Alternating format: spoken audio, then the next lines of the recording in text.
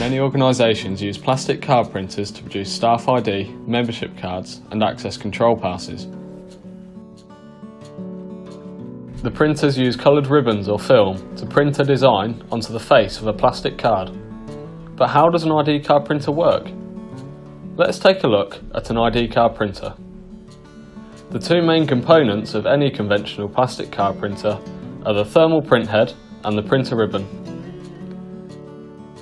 The print head heats up as the card and ribbon run underneath it, causing the coloured pigment on the ribbon to transfer onto the card.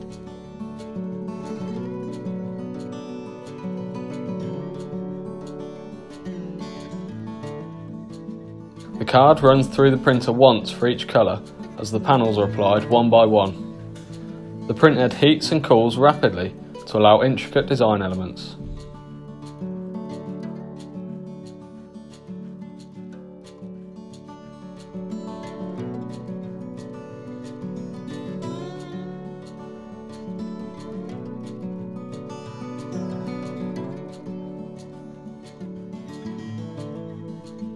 As you can see, the design of the card is transferred onto the panels of the printer ribbon as it is used.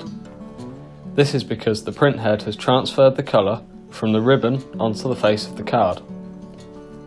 Once the colours have been applied, a clear overlay is added over the top, which seals in the colours and ensures that the print is durable for typical everyday use. The card is then fed into the output hopper and is ready to use. A huge range of ID card printer ribbons are available on our website at www.idcardcentre.co.uk.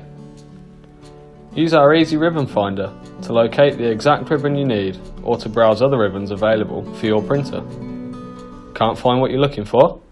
Get in touch with us and speak to one of our experts who will be happy to help.